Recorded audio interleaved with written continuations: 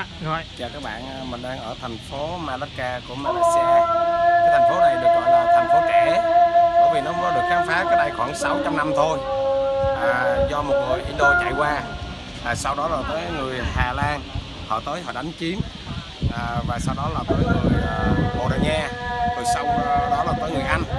Và sau này là trả về lại cho uh, Malaysia.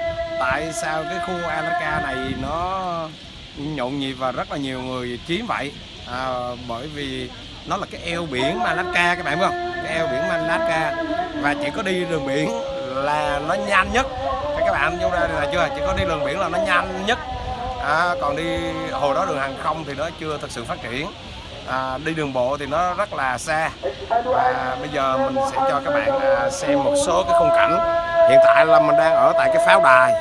Cái pháo đài hồi kia của người Bồ Đào Nha cái pháo đài hồi kia của người Bồ Đào Nha. À, à, và các bạn nói cái pháo đài nó nhỏ thôi nhưng mà nó nó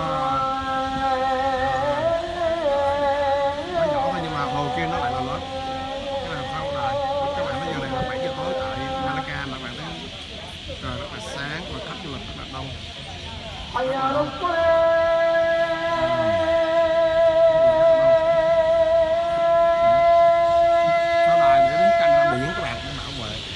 cái này là cái con sông. Cái con sông thì các bạn thấy sông nó rất là nhỏ nó không có lớn như là sông ờ, sông của ờ, Việt Nam của chúng ta thôi. Ở Malaysia phần lớn là các con sông rất là nhỏ. Và nó có một cái sự tích là hồi kia có một cái ờ, người từ Indo họ qua. Và họ dẫn theo năm con chó và khi ở đây họ thấy cái con chuột nai con chuột nai là một con giống như con nai mà rất là nhỏ. À, thì con chó nó thấy nai thì nó dí con nai đó. Và khi nó dí bắt nai thì nai nó chạy tới đúng cái sông rồi mình mới cho các bạn xem á. Thì cái con nai nó nó cái con chuột nai này nó rất là khôn ngoan. À, nó ờ, nó trượt xuống sông. À, để con con chó vồ tới thì mấy chó rớt xuống sông thì nó nó chạy lùn ngược lên nó chạy qua tức là giống như là nó dùng mẹo vậy đó. À, và thế là cái người Indo này họ uh, quyết tâm họ nói ô cái con này nó thông minh quá nó hay quá. Và họ quyết tâm họ chọn cái vùng đất này.